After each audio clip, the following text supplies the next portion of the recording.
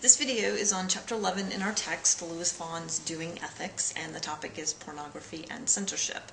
Uh, the central question that we will be discussing is whether it is morally permissible for the government to limit or prohibit the exposure of consenting adults to pornography. Now, this question assumes a couple of things. Uh, first, that we are talking about uh, consenting adults and not child pornography. And secondly, uh, that this question of censorship is distinct from uh, the question of what constitutes pornography and the questions of as to whether it is morally permissible to make, use, or distribute pornography. So our question focuses on the issue of censorship. So let's look at an operational definition of pornography. As it's outlined in our text, pornography is any image or text designed to uh, sexually excite or arouse. Pornography can be conveyed through a variety of media, uh, including photographs, movies, paintings, books, uh, live performances, and the internet. It also can cover a range of uh, subject matter, pretty much anything consenting adults can think of to do. Pornography is legal. Obscenity is not legal. So usually when pornography is the subject of a court case, it's on the grounds of obscenity. Uh, obscenity is a legal term that was coined in the 1973 Supreme Court case um, Miller v. California, and this case established three criteria to determine obscenity, uh, whether an image or text uh, can be deemed obscene and therefore illegal. So first, the image or text must be seen as unwholesome by the average person. Secondly, the image or text uh, must depict sexual conduct in an offensive way. And finally, the entire work and not just pieces of it um, must lack serious artistic, political, literary, or scientific value. Uh, these three criteria together are known as the Miller test, and rarely, with the exception of child pornography, uh, does a court rule that pornographic material is obscene. Uh, the censorship debate hinges on uh, the conflict between personal freedom and the public good.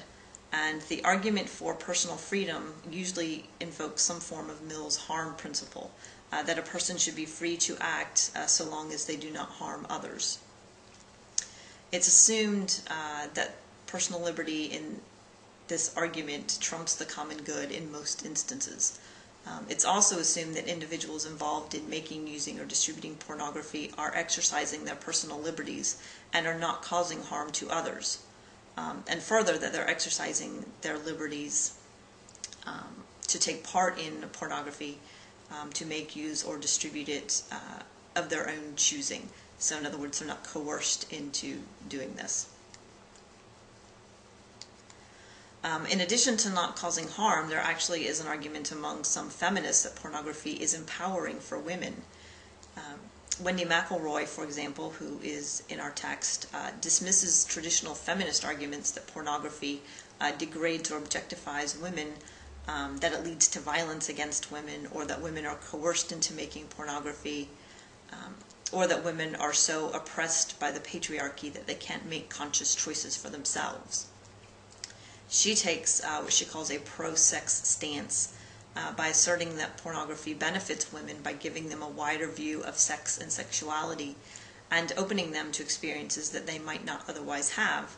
Um, it encourages to uh, imagine and to live vicariously. Uh, she also claims that legitimizing pornography would give women an outlet to become financially independent. The arguments for censorship uh, run the gamut. Um, many opponents argue that pornography is immoral and that making or using it is immoral and leads to widespread negative behaviors, including promiscuity, unsafe sexual practices, um, and a weakening of the family structure. Because pornography has such negative effects on society, uh, opponents claim, uh, it should be banned. Uh, in this case, the common good would trump uh, personal liberties.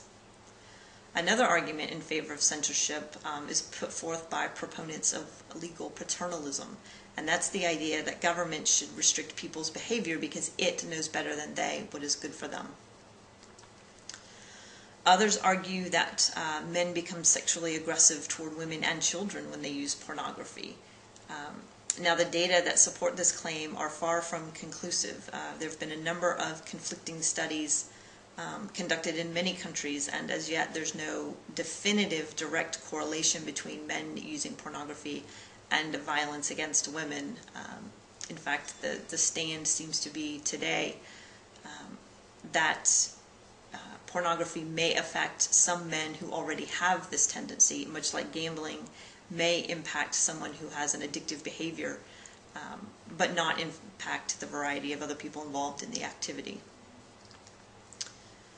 Um, so the studies seem to show that pornography will trigger violent behavior in men um, who already have a predisposition um, but there's nothing to say that reducing uh, pornography, reducing exposure to pornography, or limiting, uh, prohibiting pornography would in any way reduce violence against women and children.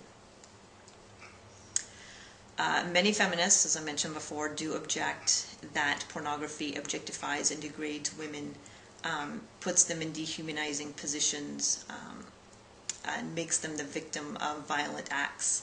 And these themes um, that are prevalent in pornography convey the message to users um, that the dehumanizing treatment of women is socially acceptable, um, or further, that it shows how men are supposed to treat women.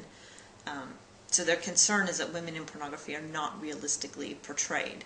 Um, these women are compliant, subservient, submissive, happy to be that way. Um, in short, happy to be victims.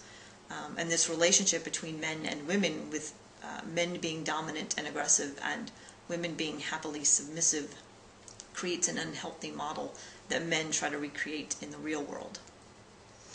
So some of the most ardent feminists, like Catharine MacKinnon, who's also in our text, assert that pornography in all forms must be banned, again, for the greater good.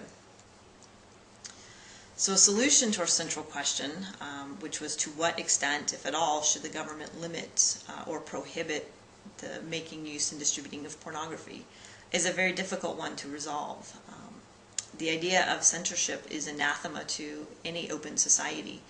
Um, and yet even the strongest proponents of pornography agree that there should be some limits, um, uh, some that protect children um, who should not be involved in pornography, um, and some limits to keep open spaces appropriate for all, meaning that uh, while pornography should be freely uh, available and uh, consumed, that this does not mean that public spaces be bombarded with pornographic images. So keep in mind as you're reading that the issue of censorship really does go beyond pornography, and that censorship of pornography uh, can't be fully discussed without also addressing the moral questions that surround its creation, use, and distribution. So with that, uh, happy reading